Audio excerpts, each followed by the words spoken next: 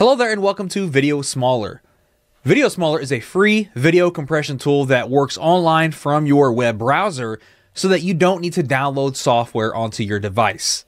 And it's extremely easy to use, and I'm going to show you how to use it right now.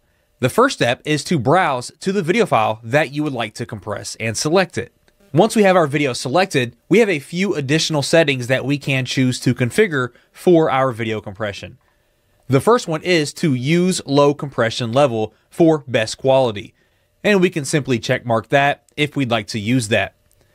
Then we can also reduce the video size even more if we choose to scale the video to a defined smaller width. If you'd like to do that, we have various different options here that we can choose to scale to.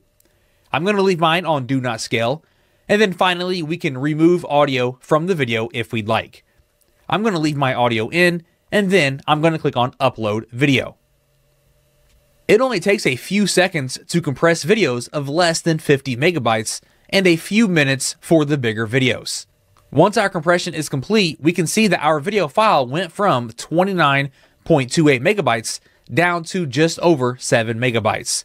And that is a compression of over 75%.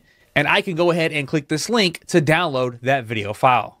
And once we have that downloaded, I can go ahead and play the video and see that I have lost zero quality while shrinking my video size by over 75%.